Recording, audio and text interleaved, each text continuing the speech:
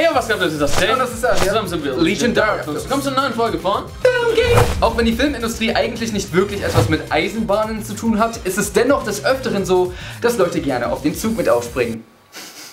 Oh, Nein? Okay, sorry, das war zu früh mit schlechten Witzen. So kommt es hin und wieder vor, dass kleinere Produktionen erfolgreiche Filme nachmachen und das durchaus mit begrenztem Aufwand und minimaler Qualität. Diese Filme werden oft als Markbuster bezeichnet, da sie oft das Original Marken zu Deutsch verspotten. Heute stellen wir euch einen weiteren dieser Spottfilme vor. Setzt euch also schon mal auf eure Cringe-Couch, gönnt euch einen Cringe-Cocktail und ein paar Cringe-Cracker nicht vergessen. Der Spruch war cringe kacke. Das Animationsstudio Pixar hat uns über die letzten Jahre immer wieder aufs neue Animationshits geliefert und uns dabei in unbekannte Welten mitgenommen. Warum habe ich gerade so gemacht. Neben Monstern, Menschen und gelegentlichen Nicht-Lebewesen werden hier vor allem Tiere gerne als Charaktere ausgewählt. So entstanden Klassiker wie das große Krabbeln, Findet Nemo oder der 2007er Kinohit Ratatouille. Und ich meine, wer kennt diesen Film nicht? Nee, also ernsthaft, wer kennt diesen Film nicht? Weil dann erkläre ich dem eben kurz, worum es da geht. In dem Film Ratatouille hilft eine kleine Ratte mit kulinarischen Talenten einem Pariser Kochlehrling insgeheim die leckersten Gerichte zuzubereiten. Und natürlich geht irgendwann alles drunter und drüber. Wenn das nicht die beste Zusammenfassung aller Zeiten war, dann weiß ich auch nicht. Doch auch dieser Film sollte nicht unberührt von miserablen Plagiatversuchen bleiben. Das brasilianische Animationsstudio Video Brinquedo, was bereits bekannt für seine Mockbuster ist und über das wir bereits schon mal oh, gesprochen haben. Seelenlose Pixel-Zombies, die einen Schlaf ermorden wollen. Ugh, ist nicht geil. Und auch hier dachte sich das Animationsstudio scheinbar wieder, hm, Lass doch noch einen Klassiker ruinieren. Wird bestimmt der Knaller. Wird bestimmt von niemandem die Kindheit kaputt machen. Oder die Augennetzhaut wegbrennen. Wird der Hit. Wird cool. Meine Damen und Herren, gestattet mir vorzustellen aus den tropischen Studios Sao Paulos. Ratatouille.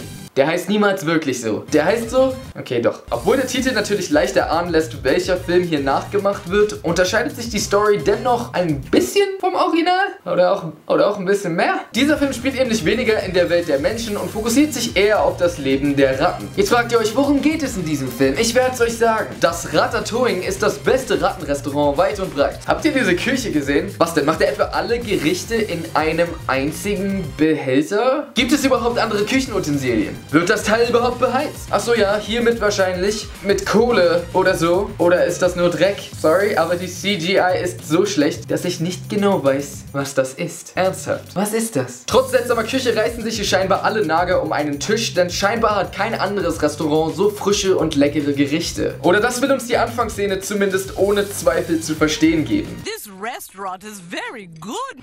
Everyone knows this is a great restaurant, but I would never have imagined that a restaurant this good would even exist around here. It's really amazing. Ist doch okay, Mann. Wir haben es verstanden. Das Essen ist scheinbar gut. Falls ihr jetzt ein Übelkeitsgefühl verspüren solltet, dann ist das höchstwahrscheinlich nicht wegen dem schlechten Essen, sondern wegen dieser ekelhaften Animationen. Oh mein Gott, das sind doch die Mundbewegungen des Grauens.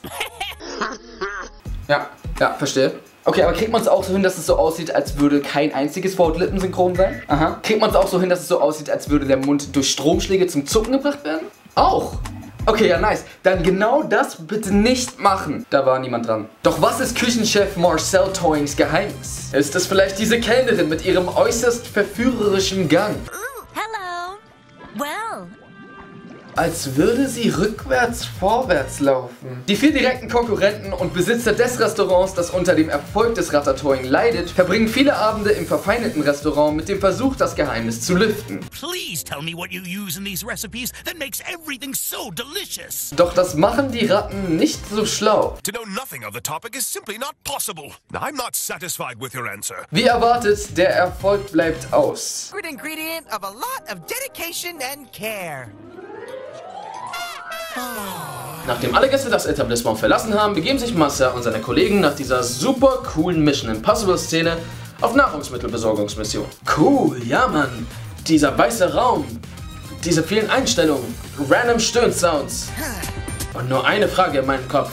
Warum dauert diese Sequenz so unnormal lange? Durch einen komplett sinnergebenden Tunnel hinter dem Lichtschalter verschwinden die drei Ratten und kommen in einem Menschenrestaurant wieder raus. Dort schnappen sie sich alles, was frisch und lecker ist und machen sich damit aus dem Staub. Ach so, das ist also das, was das Essen so lecker macht. Der würzig herbe Geschmack von Diebstahl. Zu Chef Toings Unglück hat einer der brillanten Spionageratten des anderen Restaurants ihren Notizblock mit ihren geheimen Plänen im Ratatouille liegen lassen. Sie tritt dank offener Tür ins Restaurant und sieht dort den offenen Gang zum Menschenrestaurant. An dieser Stelle möchte ich kurz zwischendurch sagen, dass ich es extrem schätze, dass hier echt großer Wert auf die Gesetze der Physik gelegt wurde, weil ich meine, schaut euch mal, wie er seinen Haken wirft.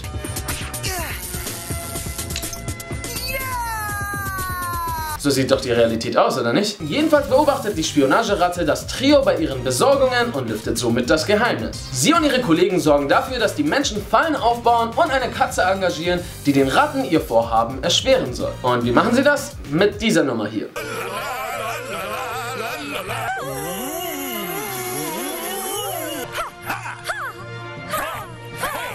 Kann mir irgendwer erklären, was dieses unglaublich unangenehme und cringige Rumgehampel da soll? Ist das Motivation? Die Fallen sind schon mal nicht schlecht, doch die Katze, die hat's in sich. Da würde Garfield Albträume von kriegen. Hey, sogar Gesorgbesorgfield hätte Angst vor ihr. Denn diese Katze sieht nicht nur erschreckend gruselig und eklig aus, sie läuft auch auf zwei Beinen und das gerade nicht auf eine elegante Art und Weise. Das Problem, so langsam gibt es keine Lebensmittel mehr im Ratatouille, womit der Koch in seiner hochklassisch ausgestatteten Küche kochen kann. Fallen und Katze hin oder her, das Trio muss wohl oder übel wieder ins Restaurant und die Hindernisse überqueren, um an ihre Lebensmittel zu kommen. Doch das ist nicht so leicht, denn vor allem die Katze macht es scheinbar unmöglich, diesen Plan umzusetzen. Als die verwandeten Ratten sich auch noch einmischen, scheint alle Hoffnung verloren, doch Chef Marcells kulinarische Künste retten ihn und seine Freunde aus dem Dilemma. Er schafft es, sich mit der Katze anzufreunden, indem er ihr Essen gibt und so verbünden sie sich gegen die anderen Ratten und machen einen Deal, weiterhin Essen aus dem Menschenrestaurant klauen zu können, ohne bemerkt zu werden. Im Gegenzug darf die Katze so viel sie will im Ratatouille essen. Als Fazit kann man zusammenfassen, dieser Film hätte inhaltlich um einiges schlechter sein können. Aber ich muss dazu sagen, als jemand, der mittlerweile zu viel abgefreakte Filme gesehen hat, ist es irgendwo ganz erfrischend, mal einen zu sehen, der eine halbwegs nachvollziehbare Story hat, die irgendwie irgendwo Sinn ergibt. Wisst ihr, was ich meine? Wollen wir damit sagen, dass der Film gut ist? Auf keinen Fall. Ich meine, es wäre eine Lüge zu behaupten, die Animation hätte bei mir nicht kurzzeitig tiefe Depressionen ausgelöst oder dass sie für das Original keine Beleidigung sei. Aber hey, es ist, was es ist. Es ist Ratatouille. Was erwartet ihr von dem Namen? Wusstet ihr, dass der Name von Jurassic City zu 50% nicht stimmt? Ja, weil da geht es um komische Sachen. Wenn ihr wissen wollt, warum, dann checkt das Video in der Videobeschreibung oder klickt hier. Und ansonsten würden wir sagen, Auto Reason. Pesen. So mit so einem extra noch. Der, der lädt sich immer wieder von selber mit ein und so. Ja, ich bin auch auf die Party. Und dann so, Nein, ah, ey, was willst du hier? Hier sind nur die coolen. Mit so einem Ring. Oder auch kein Ring, aber ein bisschen größer. Oh nein.